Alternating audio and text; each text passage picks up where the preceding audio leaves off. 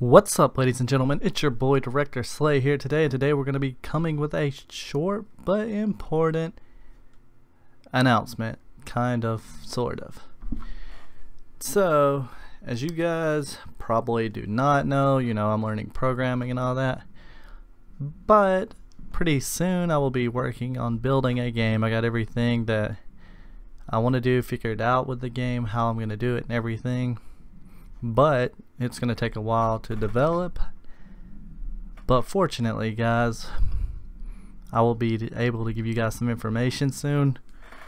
Fix that camera break while I need to get me a new webcam sometime.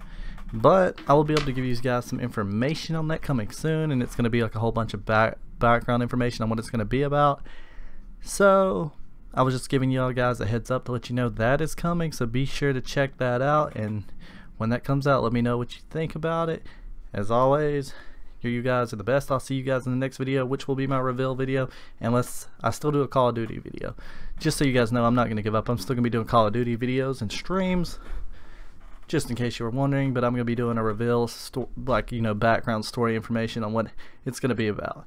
Alright, you guys are the best. See you guys in the next video. Goodbye.